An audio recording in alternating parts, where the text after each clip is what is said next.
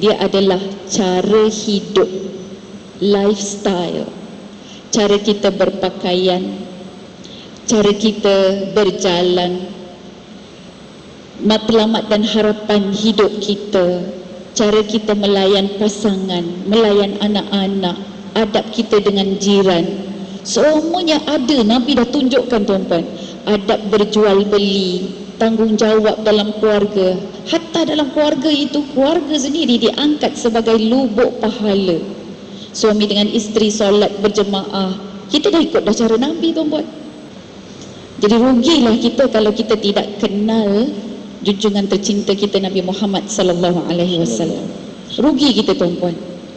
Jadi untuk itu dengan Maulid Nabi ini dengan Rabiul Awal ini tuan-puan kita berazam kenalkan kepada ahli keluarga kita betapa indahnya mencintai baginda Nabi Muhammad sallallahu alaihi wasallam. Dan tak lain tak bukan mesti wajib tuan-puan ceritakan kisah-kisah Nabi Muhammad SAW kepada anak-anak kita.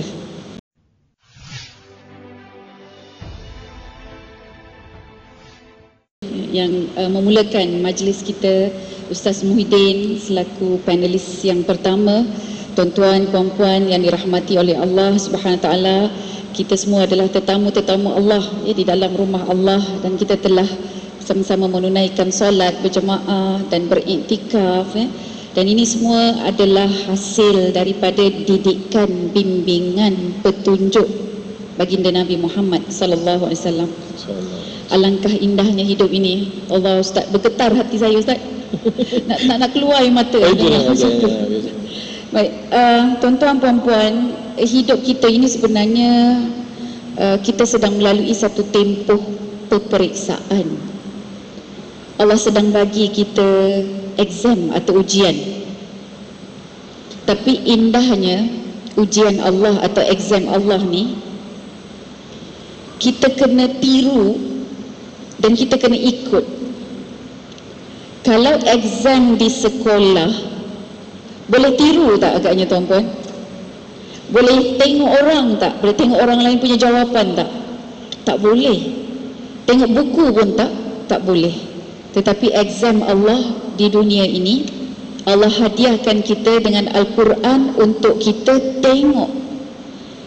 Dan Allah hadiahkan kita juga dengan baginda Nabi Muhammad sallallahu alaihi wasallam untuk kita teladani atau untuk kita tiru dia kalau kita tak boleh buat kita tak boleh tiru kita tak boleh tengok Al-Quran tak boleh ikut Nabi maka kita gagal tuan-tuan puan-puan Mudah ceritanya sebenarnya exam Allah ini mudah berbanding dengan exam di sekolah ataupun di di universiti. Tapi saya sangat tertarik ya dengan soalan apa yang ustaz sebutkan tadi itu kan macam mana kita nak mendapat syafaat daripada junjungan tercinta kita baginda Nabi Muhammad SAW selepas selesai exam nanti. Sebab exam tu kita kena bawa balik tugasan kita jumpa dengan Allah dan kemudian Allah akan muhasabah Allah akan lihat balik Allah akan hisap Allah akan nilai dan waktu itulah nak tahu kita ini layak ataupun tidak atau berjaya kah kita atau gagalkah kita di hadapan Allah Subhanahu wa taala. Tuan-tuan puan-puan yang dikasihi saya buka um, jawapan atau perbincangan kita ini dengan surah At-Taubah ayat 128 firman Allah Ta'ala A'udhu billahi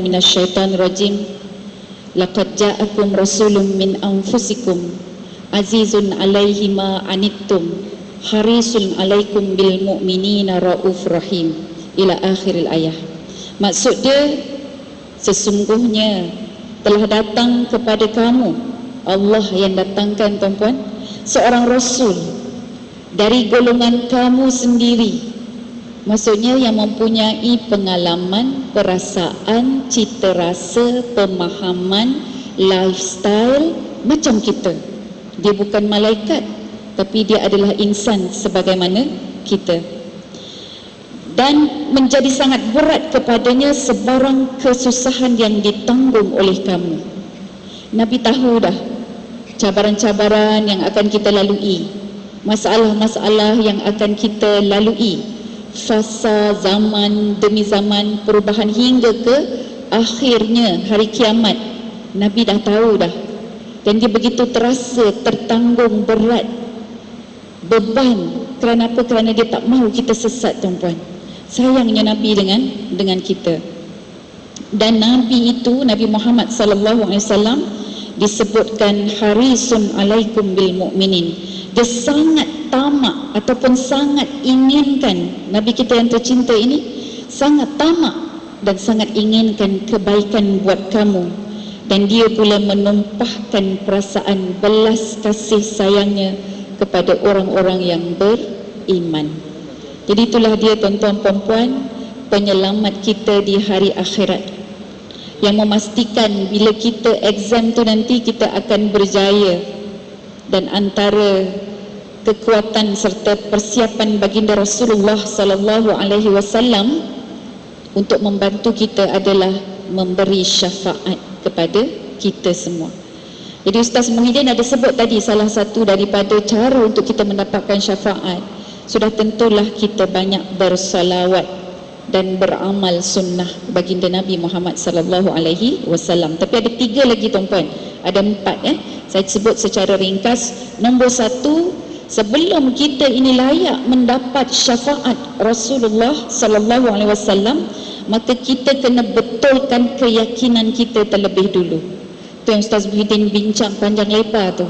Kita perlu betulkan sudut pandang kita bahawa Nabi Muhammad sallallahu alaihi wasallam ini adalah rahmat untuk seluruh alam ataupun seluruh kita. Satu dunia kepada orang Islam orang bukan Islam pun rahmat juga.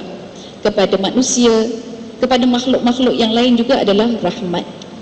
Dan bila ada rahmat bermaksud seluruh kehidupan baginda sallallahu alaihi wasallam ada kelebihannya. Maka apabila kita mencontohi meneladani baginda hatta cara kita tidur cara kita makan tuan-puan cara kita berjumpa dengan orang lain semua Nabi buat. Jadi apa yang Nabi buat satu persatu bila kita ikut kita yakinlah kita akan mendapat rahmat ataupun kita menyebarkan rahmat. Kita panjang-panjangkan rahmat. Ada ada encik rahmat di sini. Yang terasa lah pula encik rahmat. Kita sebar-sebarkan rahmat maksudnya kasih sayang Allah subhanahu wa ta'ala yang kedua tuan-puan Yang kedua masih lagi daripada sudut yakin Tadi yakin bahawa Rasulullah adalah pembawa rahmat Yang kedua yakin dan sedar bahawa baginda Rasulullah sallallahu alaihi wasallam hanya boleh memberi syafaat bila dapat izin dari Allah. Dia tak boleh bagi syafaat ikut suka hati dia. Kena dapat redha Allah dulu dan Allah reda dengan kita penerima syafaat. Allah reda juga untuk Nabi memberi syafaat baru green light. Baru lampu hijau. Baru lulus. Jadi maksudnya di sini tuan-tuan puan-puan iman kita dan kita mengikut sunnah Nabi ini kena jelas. Tujuannya untuk apa? Inna salati wa nusuki wa mahyaya wa mamati lillahi rabbil alamin. Sesungguhnya aku ini hidup ya Allah. Matiku ibadahku ini yang aku ikut Rasulullah ini adalah semata-mata kerana-Mu ya Allah. Jadi dapatkan redha Allah insya-Allah kita akan dapat syafaat Nabi. Yang ketiga tuan-tuan puan-puan syarat dia adalah seseorang itu sekali-kali tidak boleh dan tidak pernah atau berusaha untuk keluar daripada kepompong syirik. Jangan syirik. Kepercayaan kita kepada Allah satu saja. Kita ni jadi hamba pada siapa? Allah. Jangan jadi hamba pada dunia. Hamba pada majikan. Hamba pada pasangan. Hamba pada duitan mata duitan ke tuan-puan? Hamba kepada kepercayaan-kepercayaan lain. Kalau ada bekas-bekas syirik fail tak boleh dapat syafaat Nabi Muhammad sallallahu alaihi wasallam dan Allah juga tidak mengizinkan. Dan yang akhir sekali ini adalah mendapat syafaat apabila kita banyak solawat ke atas baginda Rasulullah sallallahu alaihi wasallam. Dan selain itu kita beramal dengan sunnah Nabi Nabi Muhammad sallallahu alaihi wasallam. Jadi Islam ini apa tuan-puan?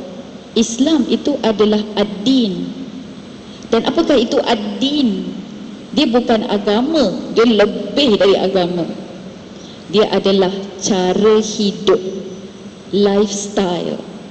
Cara kita berpakaian, cara kita berjalan, matlamat dan harapan hidup kita, cara kita melayan pasangan, melayan anak-anak, adab kita dengan jiran.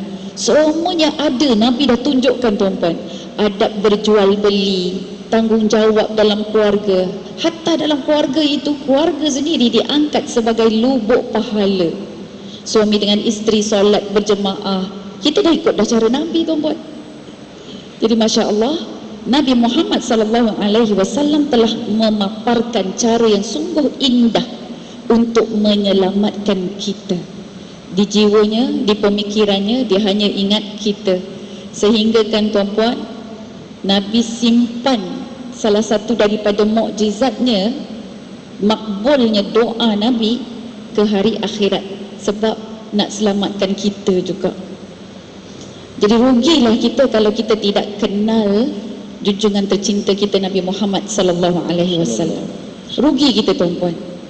Jadi untuk itu dengan Maulid Nabi ini dengan Rabiul Awal ini tuan-puan kita berazam kenalkan kepada ahli keluarga kita betapa indahnya mencintai baginda Nabi Muhammad sallallahu alaihi wasallam. Dan tak lain tak bukan mesti wajib tuan-puan ceritakan kisah-kisah Nabi Muhammad SAW kepada anak-anak kita. Saya teringat satu masa dulu ya tuan-puan, ibu saya, ibu saya ini dia dia bukanlah ustazah, dia jururawat.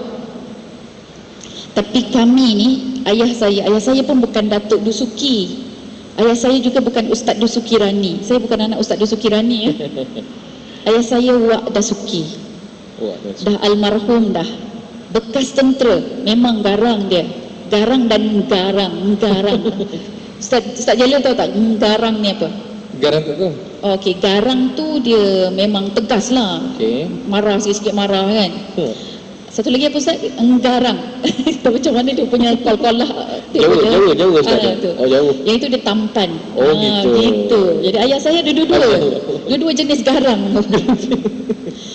Dan uh, kami ni biasa sebelum tidur tu akan bercerita dan ayah saya suka bercerita tentang nabi-nabi. Kita ni malas membaca kan masa kecil-kecil. Dia dah beli dah buku kecil-kecil pasal nabi. cerita rasul rasul 25 rasul tu dah ada dah. Kemudian cerita tentang kehidupan nabi. Nipis-nipis saja perempuan sampai kering buku tu sebab kena matahari.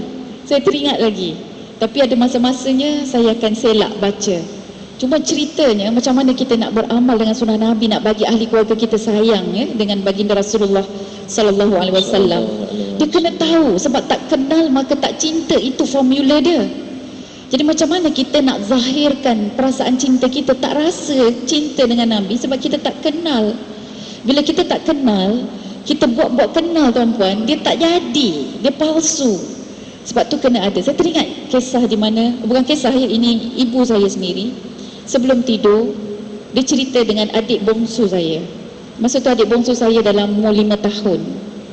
Jadi nak tidur tu dia kata okey okey ibu ceritalah.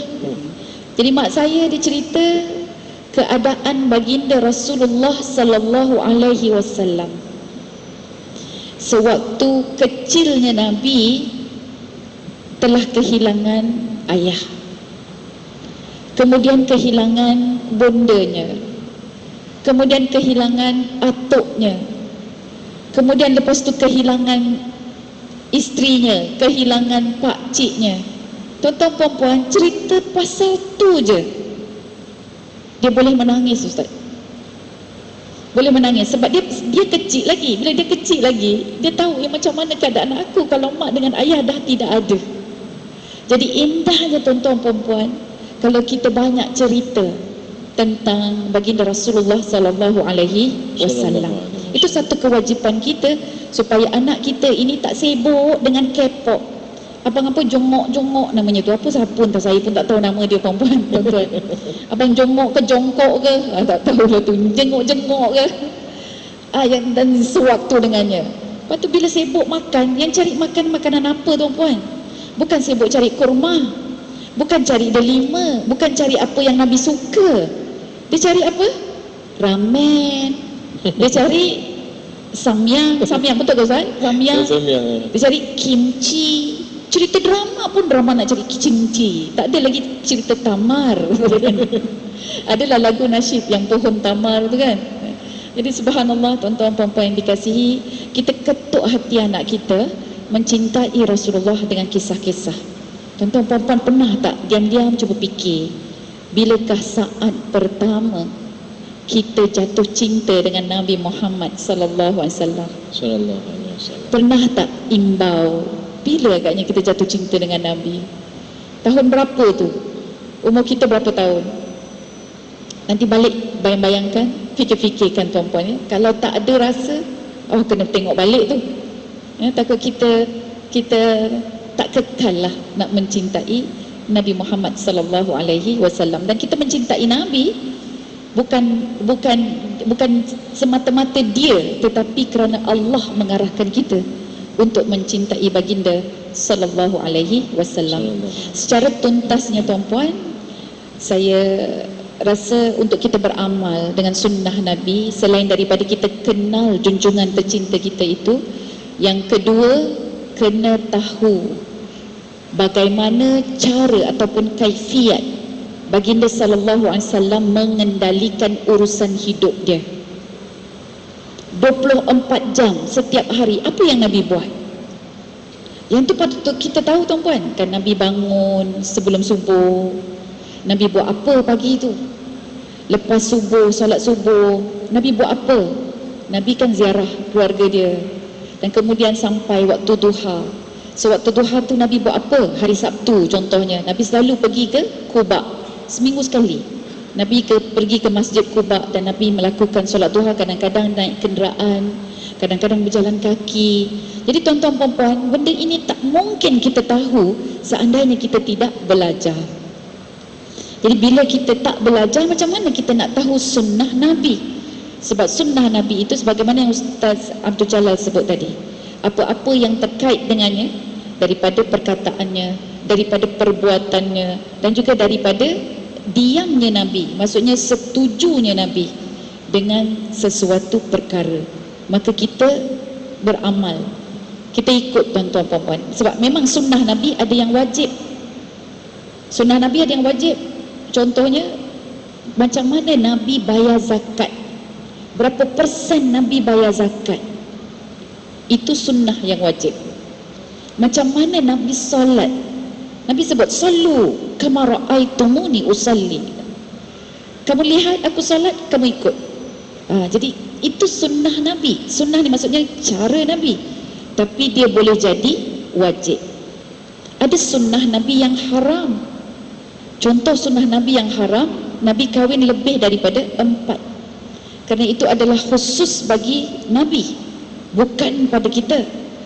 Jadi haram pada kita diharuskan sunnah pada baginda Rasulullah sallallahu alaihi wasallam. Jadi kita kita kena belajar, kita kena tengok dan kerana itulah tuan-tuan puan-puan, sesiapa yang menghadiri majlis-majlis ilmu, sesiapa yang menyambut selawat dengan selawat apabila nama Nabi terdengar dia dengar nama Nabi dia terus sahut dengan selawat maka mereka mendapat ganjaran yang cukup besar sebab apa? sebab nama Nabi akan disusuli dengan pengajaran yang dibawa oleh baginda sallallahu alaihi wasallam dan apa yang Nabi lakukan bila kita belajar maka dia menjadi hikmah dan kelebihan yang cukup banyak bagi kita tuan-puan. Contohlah baginda sallallahu alaihi wasallam dia tidur di atas bahagian sebelah sisi sebelah kanan. Hari ini je yang kita tahu, oh rupa-rupanya ada banyak manfaat, ada banyak faedah berbanding tidur terlungkup dengan tidur terlentang. Betul tak tuan-puan? Hari ini je yang kita tahu daripada kajian-kajian. Sebelum-sebelum ni kita tak tahu pun. Tapi mereka yang sebelum ini beramal maka sudah tentulah iman dia lebih kukuh daripada kita kita ni beramal sebab oh ini baik bagus benda ni. Bagus bagus ya. jadi iman kita nipis. Bila kita buat itu bersebab. Ada alasan dia baru kita ikut. Jadi tuan-tuan puan tuntasnya menuntut ilmu. Tuntutlah ilmu. Dan kemudian yang kedua tuan-puan tak habis lagi. Kena praktis di rumah. Kalau tak praktis tak dibiasakan dia tak memang anak-anak kita tak boleh nak beramal dengan dengan sunnah ni. Makan dengan tangan. Tak nak dia. Suka lagi dengan chopstick dengan sudu dan garpu. Makan kurma. Kalau tak dibiasakan nak tak agaknya anak-anak kita makan kurma tuan puan tak nak. Dia akan tengok dia kata apa? Ini macam lipas dia cakap. Kurma ni je lipas tak nak makan tuan puan sebab tak tak biasa jadi dua benda ini kalau menurut pendidikan dari perspektif psikologi pun dia kata kenapa seseorang itu degil sebab dua benda ni. Kenapa seseorang itu tak nak beramal dengan sunnah sebab dua benda ini? Nombor satu sebab dia tak tahu. Rawatlah tidak tahu itu dengan ilmu. Yang kedua tuan puan sebab apa? Dah tahu tapi tak buat juga. Sebab tak biasa. Sebab tidak dibiasakan macam anak-anak kita dekat sekolah dah tahu dah. Tahu apa? Solat. Rukun solat ada berapa? Tanya adik yang pakai pink belacan ni kan. Oh, tahu dia 13 rukun solat. Dan tak ada tambah satu lagi. Yang ke-14 ada ustazah apa 14 lipat sejadah dia cakap. Lepas salam kena lipat sejadah. Ni ustazah suruh. Ustazah ajar dia kata. Tapi tengok hari ini bilangan populasi masyarakat muslim yang sembahyang berapa persen tuan-puan? 20 persen aja. Ini yang diwar-warkan lah. 80 persen tak sembahyang. Cuba tanya anak-anak kita dekat sekolah tuan-puan. Daripada 10 orang berapa orang yang sembahyang? 2 ke 8 ha, kalau ikut 80 persen tak sembahyang maksudnya 8 tak sembahyang 2 orang sahaja sembahyang. Allahu Akbar. Jadi tuan-tuan puan dua benda ini nak beramal dengan sunnah kena tahu. Dan yang kedua biasakan. Wallahu alam. Bila kita nak menghayati pesanan-pesanan terakhir baginda sallallahu alaihi wasallam saya menyeru diri saya keluarga saya dan juga tuan-tuan dan puan-puan untuk menghayati dan membaca berulang kali khutbah wida baginda sallallahu alaihi wasallam sebab sangat saya tuan-puan kerana khutbah wida ini Nabi mulakan dengan menarik perhatian seluruh manusia waktu itu yang sedang mengerjakan haji. Bagaimana Nabi tarik perhatian? Nabi kata, aku khawatir seandainya aku tidak ada lagi di sisi kamu tahun tahun depan. Jadi Nabi dah memberikan bayangan bahawa dia akan meninggalkan sahabat dan dunia ini tuan-puan. Dan bila Nabi mengingatkan dia akan pergi, maka Nabi meninggalkan juga beberapa mandat-mandat yang cukup besar. Itu nombor satu melalui khutbah wada. Yang kedua tuan-puan adalah kita kena baca momen-momen sebelum baginda sallallahu alaihi wasallam wafat. Yang dia masih lagi berada di pangkuan ummul mukminin kita Sayyidatuna Aisyah radhiyallahu anha. Dan saya akan kongsikan dengan tuan-tuan puan-puan kesemuanya daripada khutbah wada ada lima dan dua saya ambil daripada momen sebelum wafatnya baginda sallallahu alaihi wasallam Baik, dari khutbah tu ada pertama sekali yang Nabi ingatkan adalah jangan mengambil hak orang lain hatta tumpahkan darah sesama sesama muslim ini. Jadi nombor satu jaga hak asasi masyarakat. Bila kita jaga hak asasi orang lain, apakah batas-batas mereka, limit kita, limit dia, hak mereka, hak jiran, hak teman, hak kawan, hak keluarga tuan-puan.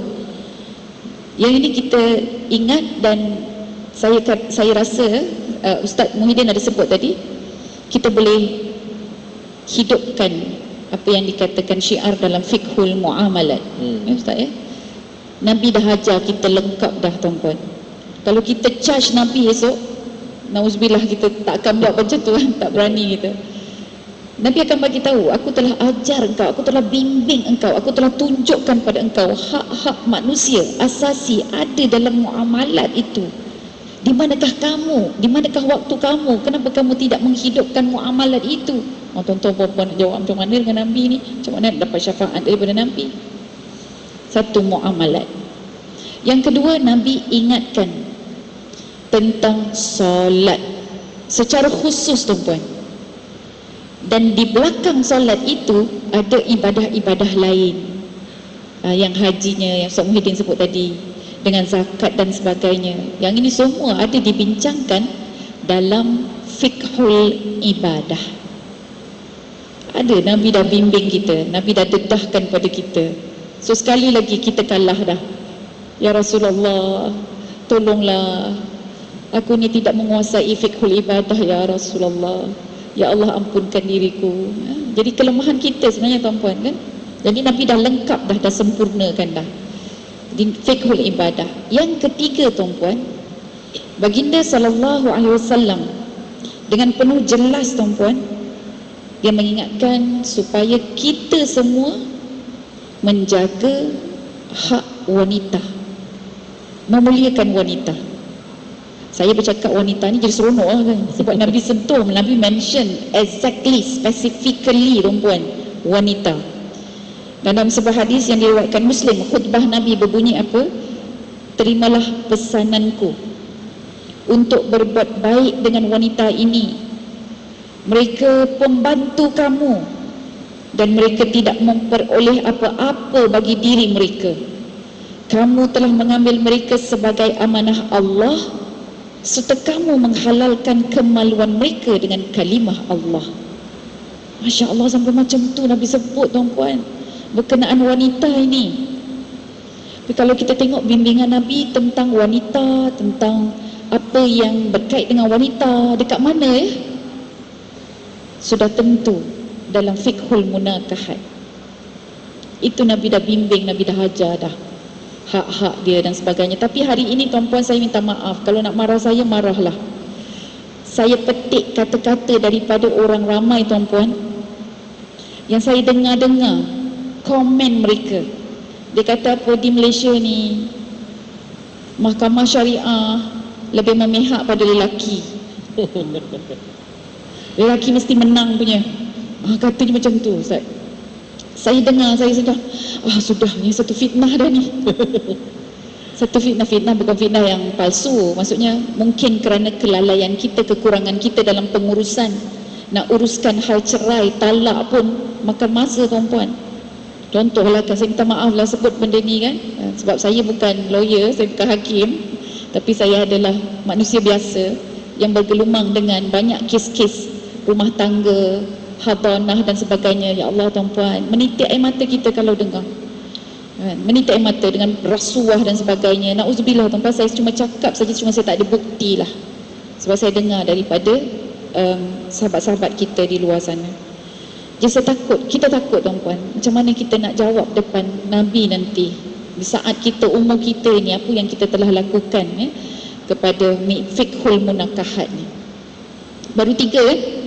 Yang keempat tuan-puan Nabi ingatkan kita tentang musuh yang sebenar Iaitu syaitan. Nabi suruh kita berwaspada Dan berhati-hati dengan tipu daya syaitan. Dan yang ini tuan-puan, Masya Allah Nabi lengkapkan dalam fikhul jinayat. Jinayat ini dia protection Masa saya student dulu, saya belajar tentang fikhul jinayat. Tapi kita tak boleh amalkan sebab kita bukan um, undang-undang itu tuan-puan. Tapi percayalah tuan-puan Hanya dengan belajar dia Hanya dengan belajar fikhul jinayat Kita akan insaf. Takut.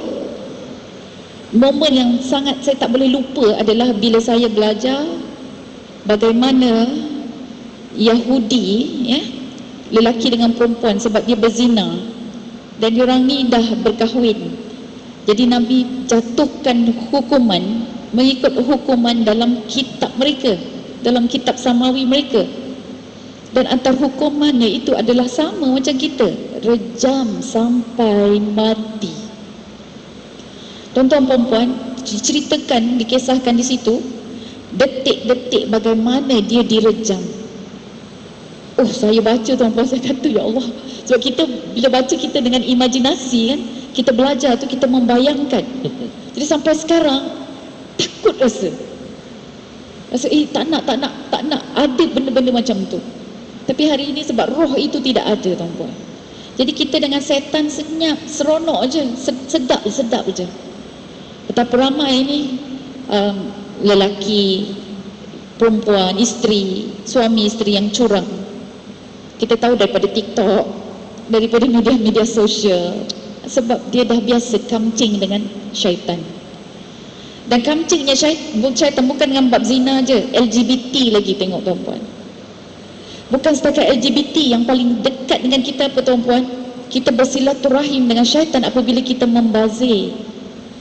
Tahun 2021 sahaja tuan-puan. 2021 sahaja bila disukat tentang pembaziran makanan di Malaysia. Pembaziran makanan yang kita buang itu sebenarnya boleh menampung untuk makan tiga kali bagi 12 juta orang. 2021 kita masih lagi dalam tempoh hmm. uh, COVID kan? COVID, SOP dan masih lagi dalam COVID. Pembaziran berlaku banyak tuan-tuan jadi 12 juta tak cepat kita tengoklah dekat harian metro ke apa ke saya rasa hari ni keluar. Bila kita membazir innal mubadzirina kanu ikhwana syayatin. Kita sedang bersilaturahim dengan dengan syaitan. Nauzubillah min zalik. Nabi dah ingatkan kita tuan-tuan. Itu yang keempat dan yang kelima sebagaimana yang Ustaz Muhyiddin sebut tadi, jadikan Al-Quran dan sunnah Nabi atau hadis-hadis Nabi ini sebagai rujukan. Baik, itu amanat Nabi dalam khutbah wida. Yang kedua, dua lagi tuan-puan sebelum Nabi wafat. Pertama, Nabi ingatkan solat, solat, solat. Sampai wajah Nabi yang terakhir itu, senyuman Nabi yang terakhir itu adalah di saat dia selak tirai, dia renung sahabat buat kali yang terakhir. Dan dia memberikan mandat kepada Sayyidina Abu Bakar As-Siddiq untuk mengetuai solat berjemaah. Nabi sebut solat solat. Dan begitu juga Sayyidatina Aisyah radhiyallahu anha dengar Nabi sebut solat. Dan ada satu masa tuan-puan sewaktu Nabi dalam keadaan sakit sakaratul mautnya ada sehelai kain dia menutupi wajah Nabi. Dan kemudian Nabi macam sesak Nabi tarik. Bila Nabi tarik kain tu maka wajah baginda sallallahu alaihi wasallam jelas kelihatan. Dan ummahatul mukminin waktu itu dia berkerumun dia memandang Rasulullah SAW dan waktu itu di saat dia tarik helaian kain itu apa dia kata? Laknat ke atas Yahudi dan Nasrani yang telah menjadikan kubur-kubur Rasulnya sebagai masjid. Tuan-puan, ini ingatan daripada Nabi ini supaya kita berjaga-jaga, jangan sampai tersasar, jangan jadi seperti Yahudi dan Nasrani. Kita menghilangkan peranan Nabi, dia menjadi pemujaan pula. Nauzubillah tuan-puan. Kita jangan jadikan begitu sebab itu Nabi tak suka. Di saat nyawanya di hujung tuan-puan, Nabi masih ingat lagi.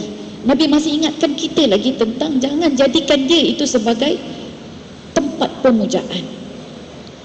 Tapi jadikanlah apa yang diajar oleh baginda Rasulullah sallallahu alaihi wasallam sebagai cara hidup dan tanda kita mencintai baginda sallallahu alaihi wasallam.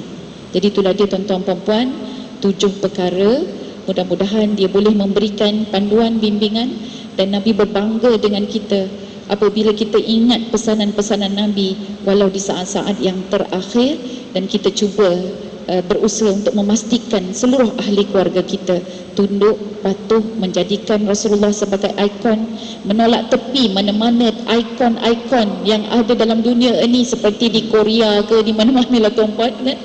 Uh, pemakanan ke dan sebagainya kita ikutlah cara baginda sallallahu alaihi wasallam dan kekuatan ahli keluarga kita untuk dia pandai mengislamkan sesuatu yang mungkin kita rasa macam oh ini tak islamik ni anak aku jadi doktor perubatan.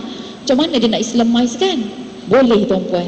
Kalau dia ada akidah yang jelas kalau dia tahu peranan baginda Rasulullah SAW untuk diikuti dan diteladani. Wallahu alam kembali kepada pengerusi